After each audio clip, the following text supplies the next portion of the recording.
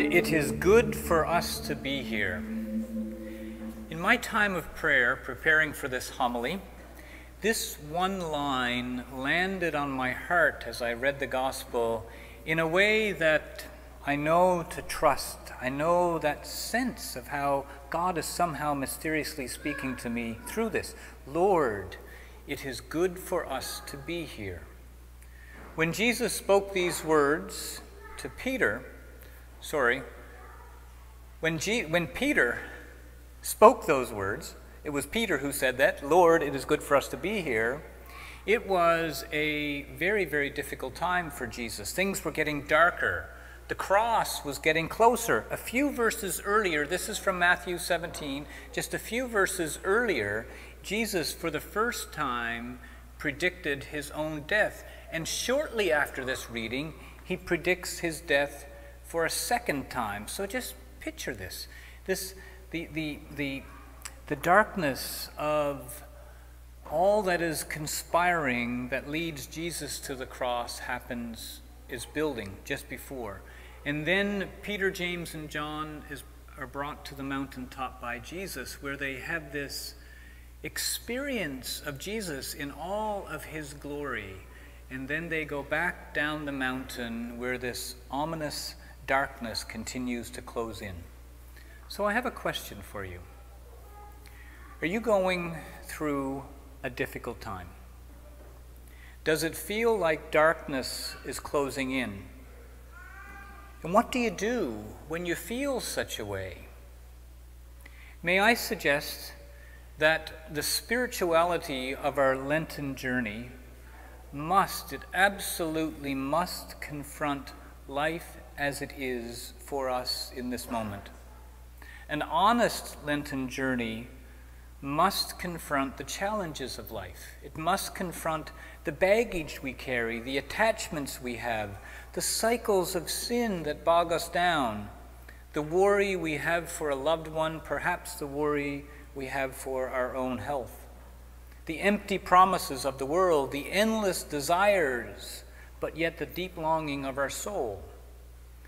The Transfiguration is a definitive statement in the midst of the darkness of the world, in the midst of our, in the midst of our worries, that God is not some abstract, distant, impersonal force, but God is a person. A person who has given us the gift of the Holy Spirit so we can always be assured of his presence, a person you can know, a person you can love, and a person by whom you can be assured of your belovedness, a person who perfectly loves you. And what does this light of God, which shone through Jesus so beautifully, what does this, what does this light do? It's very interesting to me. The disciples were so overwhelmed by the glory of God that they were overcome by fear. And then Jesus, in his glory, in all of the light of God, this is what it says came and touched them, saying, Get up and do not be afraid. When the glory of God is fully revealed, God speaks to us Don't be afraid, I am here with you. St. John Paul II said, For all of its orientation to eternal life, to heavenly things, the church has refused to become a religion indifferent to the needs of the world. Jesus, God, in God's glory, is not indifferent to the needs of the world. God is not indifferent to your needs. So I ask you, are you going through a difficult time? Does it feel like darkness is closing in in your life? I would say that because Jesus is not indifferent to your needs, of course, neither should the church, for we are the body of Christ. Lord, it is good for us to be here. It is good for us to be here because we need to carve out times in our week to let the light of Christ into our lives. Last week I quoted St. Augustine Our hearts are restless until they rest in you, O Lord.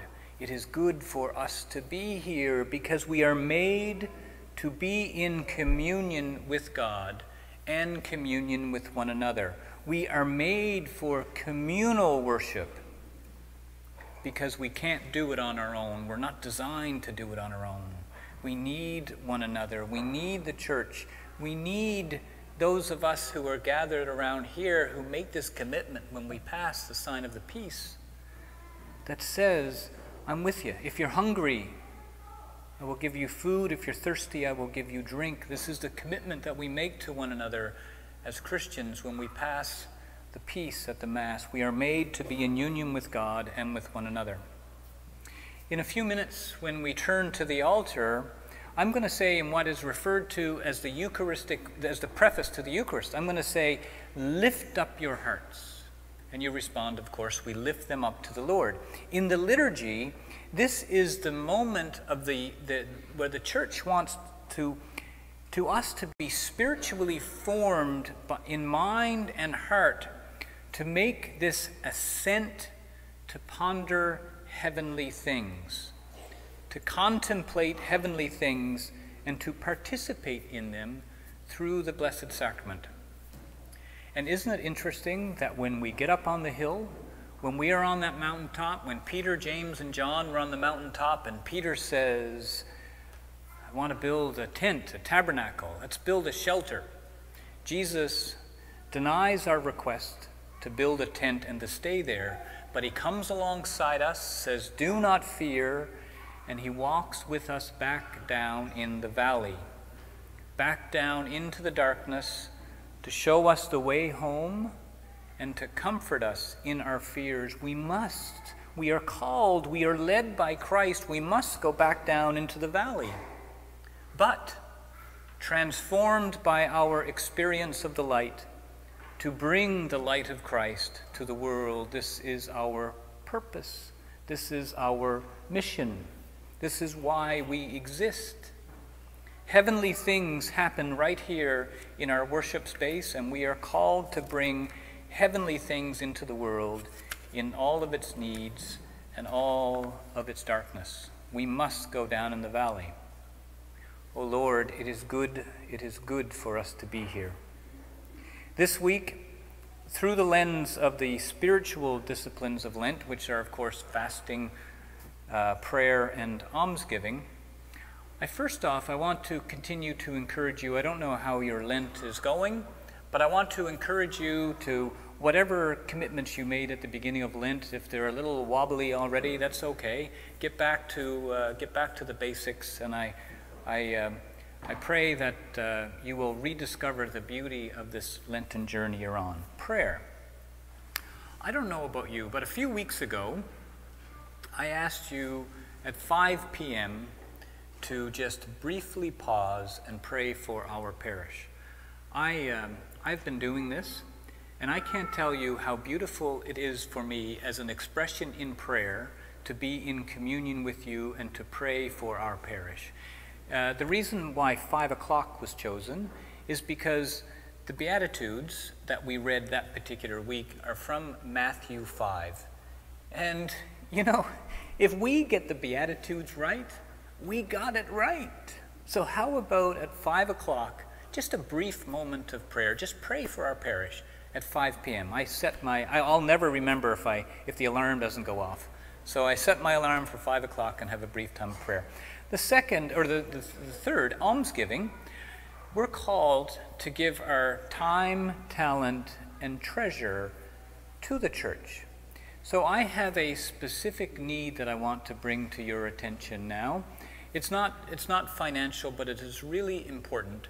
We, um, as you know, we have one shelter out back. We did have two. Uh, the second one is being refurbished. It'll, it'll be back shortly. And we're also getting a third shelter. So our shelter support team needs a little help. We need some people who are interested in working one-on-one with our shelter residents. If this lands on your heart in a way that you're interested in it, or perhaps you're just interested in finding more details, um, is Mike Coughlin here this morning? No? No? Okay. Um, the point of contact is Mike Coughlin. You can just uh, get in touch with the office and uh, we'll, um, we'll get you appointed to Mike, who's the coordinator for that ministry. So think about that. So prayer at 5 p.m. and uh, pray about perhaps the good Lord is calling you to support our shelter team. Oh Lord, it is good for us to be here. You have gathered us to be a community of faith, hope, and love. Help us to bear witness to the light of your glory in our everyday lives. Amen.